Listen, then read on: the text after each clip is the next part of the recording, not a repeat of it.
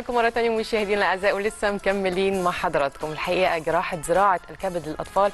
عملية زراعة ال- ال- الكبد بتسبب رعب كبير جدا للأهالي وهي عملية مش صغيرة عملية كبيرة. وزراعة الكبد للكبار مش زي زراعة الكبد للصغيرين وده اللي أنا اكتشفته كمان قبل الهوا. خوف وقلق والطفل ده الصغير اللي ملوش حيلة في أي حاجة ومش عارف يعمل أي حاجة إزاي هيتعمل له زراعة كبد؟ وهل نسب النجاح هتكون عالية ولا لأ؟ زي ما أنتم عارفين يمكن زراعة الكبد بتستغرق ساعات وساعات والدكتور اللي هيعملها بيقعد يدرس الموضوع كتير جدا. طيب إيه التطور اللي حصل في السنين اللي فاتت؟ وليه بيتعمل زراعة كبد؟ ومين الدونرز؟ أو مين اللي بيدي الكبد للطفل ده؟ هو ده اللي هنعرفه أكتر مع الدكتور اللي منورني النهارده في الاستوديو الدكتور هشام عبد القادر أستاذ جراحة الأطفال. يا دكتور مساء الخير. مساء النور. نورتنا وشرفتنا النهارده يا دكتور. الحقيقة جراحة الأطفال هل ده تخصص لوحده غير جراحة الادلتس أو الكبار آه للأسف ناس كتير مش مش عارفة إن في إن جراحات الأطفال ليها جراحين لوحدهم أو تخصص لوحده. التخصص ده ابتدى تقريبا في خمسينات القرن اللي فات. الأطفال اتفصلت لأنه آه، ناس كتير معتقدة إن الطفل ده هو آه، شخص بالغ بس في حجم صغير. وإنه الأناتومي أو التشريح بتاعه مختلف شوية فعشان كده فصلنا. الحقيقة آه، لأ يعني الطفل الصغير هيبقى الكبد بتاعه ناحية اليمين والطحال ناحية الشمال زيه زي الكبير. مش هيبقى فيه فرق في الأناتومي.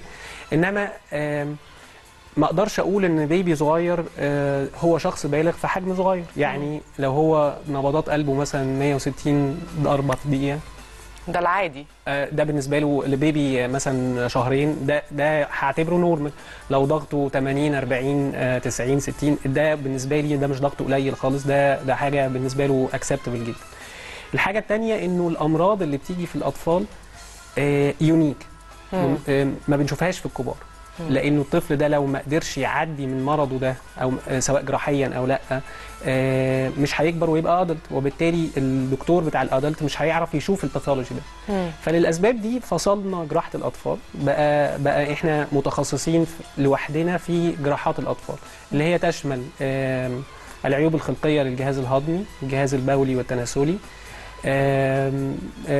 الوحمات الدموية الأكياس الليمفاوية ال- كل الحاجات اللي بتصيب الأطفال ومحتاجة جراحة ما عدا الحاجات المتخصصة قوي. يعني فضل مثلا الطفل اللي عنده عيب في القلب هيعملوا جراح القلب. اللي عنده حاجة في العظم هيعملها جراح العظام المتخصص في الأطفال. اللي عنده حاجة في في المخ هيبقى عند هيبقى آه، جراح المخ مخ وأعصاب. المتخصص في الأطفال. أوكي. طيب آه، زراعة الكبد للأطفال مختلفة تماما عن الكبار. ده حقيقي. مظبوط. يمكن كمان آه، يعني الأسباب بتبقى مختلفة لزراعة الكبد من الكبار للأطفال.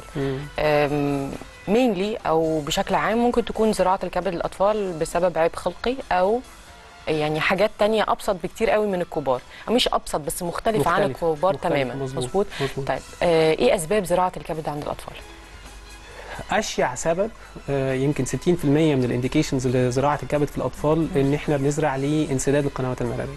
آه، انسداد القنوات المرارية مرض شائع آه، يمكن في أنحاء معينة من العالم آه، اللي بيحصل إنه الطفل ده بيتولد آه، بيبقى فيه تليف في القنوات المراريه هذا التليف إحنا مش عارفين على وجه الدقة سببه إيه. هل نشأ نتيجة أثناء التكوين بتاع القنوات المراريه حصل مشكلة اللي أدت إلى إن هي قفلت؟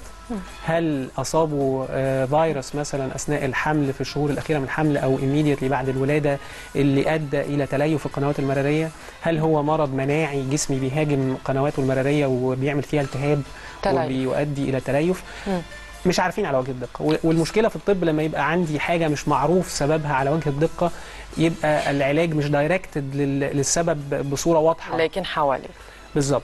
إنما في كل الأحوال الطفل ده حصل تليف في القناة المرارية بتاعته وبالتالي العصارة الصفراوية ما بتقدرش تنزل من الكبد أيوة. للامعاء أنا عاوزة أبسطها للمشاهدين عشان المشاهدين يعرفوا القنوات المرارية دي إيه يعني إحنا عارفين إن الكبد ده هو الإنجن أو الموتور بتاع الجسم اللي هو. بيصفيه من السموم واللي بيحصل فيه آم، آم، حاجات كتير جدا من اللي بتساعد على تصفية الجسم من الشوائب اللي فيه أو ال- الحاجات اللي مش كويسة اللي فيه تمام. دلوقتي بينزل منه قنوات مرارية أو ملتصق بيه قنوات مرارية بتوصل إلى ال- الجهاز. الهضمي الأمعاء القنوات المرارية بتنزل البايل ده آه، اللي. هو عبارة عن إيه عشان ينزل عبارة عن آه، آه، أملاح وأحماض ربنا خالقها بصورة آه، تنزل في الجهاز الهضمي دورها الأساسي إنها بتساعد في هضم ال- الدهون بتمتص ال fat soluble vitamins اللي هم فيتامين A و D و K كل دول بيمتصوا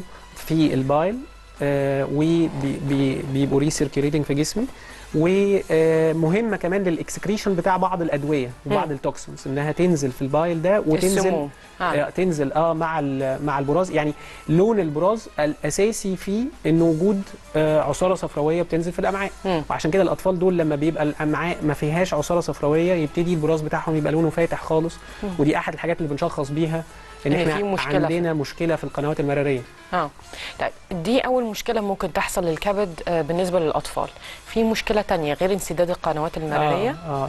إيه الأطفال مشهور عنهم إن بيبي بيتولدوا أحيانا بإنزيمات معينة آه مهمة لحياتهم آه آه هذه الإنزيمات بتطلع من الكبد exclusively وبالتالي لو الكبد بقيته سليم وظائفه كلها سليمة بس هذا الإنزيم ناقص آه نتيجة عيب خلقي أو عيب أو مرض وراثي آه مثال مثلا آه آه إنزيم معين بيهضم الكوليسترول.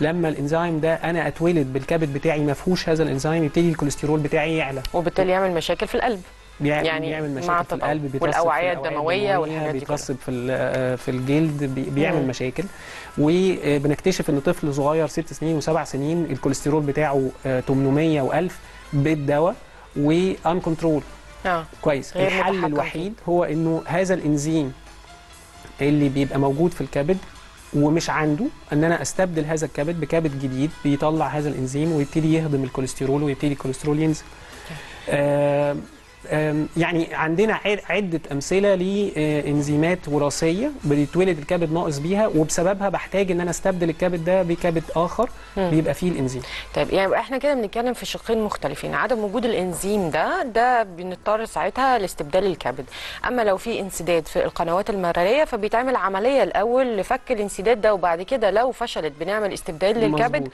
ولا في الحالتين بنعمل استبدال على طول للكبد لا لا انسداد القنوات المرارية دايما بنحاول إن إحنا لو شخصناه بدري بنحاول على قد ما نقدر نشخصه بدري لأنه النتائج بتاعة العملية اللي حضرتك ذكرتيها دي إن إحنا نعمل وصلة من الأمعاء على الكبد مباشرة. املا في إنها تجيب العصارة الصفراوية على الأمعاء آه بنحاول نشخصه بدري آه آه علشان نعمل هذه العملية.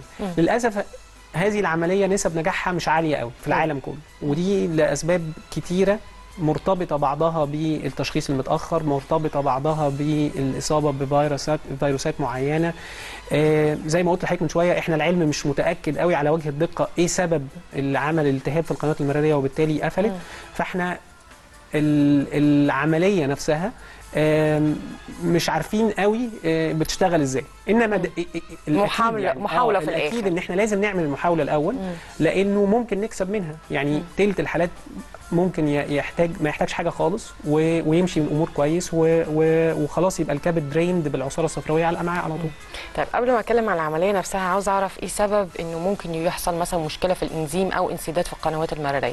هل مثلا هي مشكلة وراثية؟ هل بسبب جواز القرايب؟ ولا بتكون إيه في؟ بعض الأحيان آه، آه، يعني الحاجات الوراثيه طبعا آه، معروفة. وعارفين إيه نوع ال- الجين اللي بيعملها وطبعا لو في جواز للقرايب والعيلة دي لأنها بتبقى حاجات familial فإحنا عارفين إنه في chance كبير إن إحنا لو أب وأم مولودين عندهم طفل اتولد بمثلا hypercholesterolemia اللي هي ان- الكوليسترول بتاعنا عالي إن الطفل اللي بعد كده هي- هيبقى عنده نفس المشكلة. ففي حاجات وراثية definitely مم. إنما انسداد القنوات المرارية لازلنا مش عارفين على وجه الدقة إيه ال إيه ال pathology إنما هو مش مرض وراثي for sure. إنما آه، في جزء منه كده أو في بعض أنواعه كده إنما آه، الحاجات التانية في منها حاجات كتير وراثية طب دكتور لو أم عندها فيروس من فيروسات الكبدية ممكن الابن يحصل له مشكلة أو يتولد وهي مثلا حامل مم. ممكن يتولد بعيب خلقي ال hepatitis C الكبد بيتنقل عن طريق المشيمة مم. طب ما هو كده يبقى فيه هيبقى تليف لا بس فيروس C ممكن على ما أعتقد إن هو يتم علاجه صح؟ آه. ولو ما تمش علاجه ده ممكن يسبب تليف فعلا في الكبد.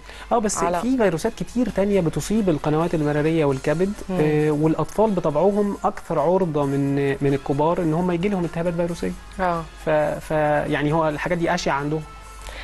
يعني الموضوع أصله كبير قوي بالاخص إحنا بنتكلم في بلد مصابة ناس كتير جدا مصابة بفيروس C والحمد لله في تطور دلوقتي يعني آه آه وعلى أمل إن 2020 ما يبقاش في حد مصاب بفيروس C اللي هم كشفوا يعني مشكله في اللي ما كشفوش يعني دي قصة طويلة. عريضة وده هيخلي الأطفال بطبعهم أو الحاجات الوراثية هي اللي هتبقى ال leading role أو ال leading cause لل transplant بعد كده. متخيل يعني طيب آه عملية زراعة الكبد بتبدأ من سن كام؟ بتبتدي أول ما نشخص إن هذا الطفل عنده حاجة آه، آه، في الكبد بتاعه محتاجة آه، زراعة. يعني مثال لو إحنا هنعرف إزاي يا دكتور؟ هن- وهنقول مثال. طفل اتولد بانسداد في القنوات المرارية شخصنا الموضوع دخلنا عملنا العملية. التشخيص سهل يا دكتور؟ أنا آسفة لقطع كلامك. هل التشخيص سهل؟ يعني البيبي أول ما يتولد هل في كشف بيتم عليه عشان نعرف هو عنده حاجة؟ المشكلة إنه الطفل بيتولد بصفرة. مم. كويس الصفرة دي بتلخبط مع الصفرة الفسيولوجية اللي بتيجي للأطفال حديثي الولادة مم. فالتشخيص عادة بيتأخر شوية آه إنما يعني ال message اللي بنقولها clear لكل دكاترة الأطفال إنه لما يبقى ال pattern بتاع الصفرة دي صفرة انسدادية أو صفرة bi- biphasic يعني ال- النوعين إحنا عندنا الصفرة دي نوعين direct و indirect. فلو النوعين مباشرة وغير عاليين مباشرة. آه مباشرة وغير مباشرة لو عاليين مع بعض شك إن يبقى عندنا انسداد في القنوات المرارية؟ لازم نعمل سونار نطمن هل عندنا مرارة باينة وقناة مرارية خارجية باينة ولا لأ. صحيح مش في كل الأحوال ده ده 100% ينفي إنما لازم نشك في ده. وبيبقى الحل التشخيص النهائي هو إن إحنا بنحتاج نعمل أشعة بالصبغه على القنوات المرارية عشان نتأكد هي موجودة ولا مش موجودة. يعني ده نقطة مهمة جدا مم. لأن التشخيص بقى اللي متأخر ممكن يزود أو يقلل من نسب هذه النجاح. العملية بتقل بالظبط. فهي مم. في كل الأمراض التشخيص المبكر هو أحسن حاجة. طبعا. فبالتالي مهم جدا بالنسبة لدكتور الأطفال إن هو لو شك إن الصفرة المباشرة وغير المباشره لما تكون عالية يفضل إن إحنا نعمل سونار على القنوات المرارية. تمام. طيب من لو اكتشفنا أو تم تشخيص إن في مشكلة في القنوات المرارية من البيبي وهو عنده مثلا ثلاث شهور مثلا أو قبل كده كمان آه، زراعه وعملنا العملية. آه عملنا العملية بتاعة القنوات المراريه تمام. لكن اكتشاف الإنزيم اللي مش موجود ده ما بيتمش اكتشافه هم صغيرين. في بعض الحاجات بت بتبان بدري امم بتبان م... م- آه، وهو شهور و... وفي بعض؟ الحاجات بتتأخر. بي- اتولد زي ما حضرتك قلت ولا لأ؟ لا اتولد ده القنوات المرارية. آه. طب الإنزيم ده آه الكوليسترول العالي أيوه بس الكوليسترول ده ح... يعني هناخد شوية وقت على ما يبان إن أو نشخص. وفي بعض الأحيان إحنا عرفنا إنه الأسرة دي كان عندهم طفل تاني حصل له وفاة مب... آه... death يعني واكتشفنا بعد كده إنه كان عنده مشكلة في القلب نتيجة الكوليسترول العالي إنما still still في آه... في طرق للتشخيص وممكن نشخص من بدري. okay. إنما هي القصة إيه إيه العلاج؟ يعني لو إحنا قلنا انه مثلا عندي tyrosinemia وخلاص ما عنديش حل غير إن هو يزرع يزرع آه فنقدر نبتدي من بدري؟ آه ده نقدر نبت- نبتدي من بدري. من ثلاث شهور من قبل كده ولا المشكلة إمتى؟ هي إنه الأطفال عرضة زي ما قلنا لالتهابات كتير وبياخدوا تطعيمات. التطعيمات دي في منها حاجات آه بندي الفيروس أو البكتيريا في صورة مضاعفة عشان الجسم يشتغل عشان الجسم الجيش. يتعرف عليها ويكون هو أجسام المضاد ما أقدرش أدي التطعيمات دي آه، قبل آه، أو يعني آه، وقت من الزراعة لأن أنا لما هنعمل الزراعة هنديله فيروس. آه هنديله أدوية تقلل مناعته. وأنا التطعيم ده هديله الفيروس شخصيا أو البكتيريا شخصيا في صورة ضعيفة فعندنا عدد من التطعيمات بنفضل إن إحنا نخلصها ون ون accelerate ال program بتاع التطعيم بتاعنا علشان نبقى جاهزين إن إحنا نزرع الكبد وناخد بقى الأدوية بتاعة المناعة. يعني بنتكلم من سنتين يعني تقريبا لا سنتين. يعني أقل حد إحنا زرعناه كان آه، أعتقد 8 شهور. لما نشوف وكان وزنه 7 كيلو. إزاي يا دكتور؟ يعني أنا آسفة يعني إزاي؟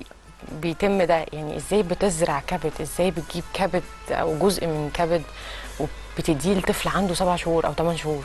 آه هي عملية صعبة طبعا بس يعني هي الفكرة إحنا لازال في مصر طبعا ما عندناش متبرع آه، يعني لازم ناخد من متبرع حي ما عندناش من كادفر أو من آه، حديث الوفاة حد حديث الوفاة بس قلبه بينبض آه وده يمكن آه. موجود بره موجود بره طبعا في, في معظم الدول even السعودية آه. إنما إحنا ال- لازال ال program ده آه، معتمدين أساسا على ال living donor ال living donor ده يعني آه، أنا هجيب. شخص بالغ آه، ما عندوش حاجة خالص ولازم هعمل له كل ال test عشان أتأكد إن هو سليم تماما وما عندوش أي حاجة وهعرضه للعملية إن أنا هاخد جزء, جزء من الكبد بتاعه الكبد.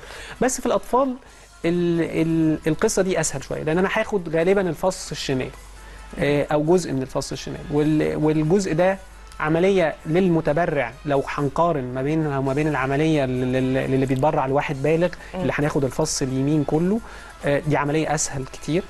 آه، إلى حد كبير نسب المشاكل للمتبرع في هذه العملية قليلة جدا.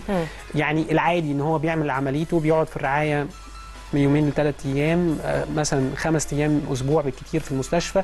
بعد أسبوعين يقدر يمارس حياته ال- العادية. اللطيف في الكبد إنه بيتجدد وبينمو. يعني أنا بقول دايما للمتبرعين كده أنت بعد شهر 60% من الكبد بتاعك هيرجع لحجمه الأصلي بعد ست شهور هيرجع حجمه الأصلي تماما كأننا وده مختلف. عن كل الأعضاء التانية لأن مم. الكبد متعود بيتجدد. على إن هو بيدخل له سموم وبيدخل له آه، حاجات غريبة فمتعود إن ده طبيعي غير الأعضاء التانية وده اللي إحنا كنا بنقوله فبالتالي آه، آه، التجدد في الكبد. التجدد ده حاجة لطيفة إنها للمتبرع إن الحجم الكبد بيرجع بالظبط. لأصله. إنما إحنا كنا بنتكلم على إنه الكبد كمان مختلف لي- لينا. إحنا ما بنحتاجش نعمل توافق للأنسجة زي الكلى مثلا. آه، مجرد نفس الفصيلة نقدر نزرع عليها. الحاجة الثانية إنه كون الكبد من الخ... من الخلايا اللي بتتجدد وإن هو زي ما حضرتك قلتي بيتعرض لسموم وانتيجنز كتير فده بيخلينا ما بنديش نفس جرعات الأدوية اللي هي بتقلل المناعة زي الكلى أو أو لو هنزرع organ okay. تاني. هما بس قالوا لي فاضل دقيقتين فعشان كده أنا اتخضيت شوية. لكن أنا كنت عاوزة أتكلم عن حاجات كتير قوي. طبعا. دكتور أنا بس في نقطة مهمة جدا أنا عاوزة أوضحها للمشاهدين ودي حاجة إحنا كنا بنتكلم فيها قبل الهوا. فكرة إن العملية دي حوالي بتتكلف كتير قوي من كنا بنتكلم من 200 ألف دلوقتي 400 ألف وأكتر من كده. دلوقتي اللي مش قادر إن هو يعمل حاجة زي كده إزاي راجل غلبان أو حتى مش غلبان 400 ألف دولار كتير قوي. لما بيجي يقول لك وأنا أعرف إن حضرتك ليك تاريخ بسم الله ما شاء الله في التشاريتي وفي الأعمال الخيرية وإن أنت بتعمل عمليات كتير جدا آه، بالمجان آه، إزاي ده بيحصل والدولة إزاي بتتكلف بحاجة زي كده وهل في جمعيات خيرية حواليكم ولا إيه اللي بيحصل بالظبط؟ في في طبعا يعني ال- الظروف الحالية اللي حوالين هذه العملية آه، مخلياها صعبة شوية.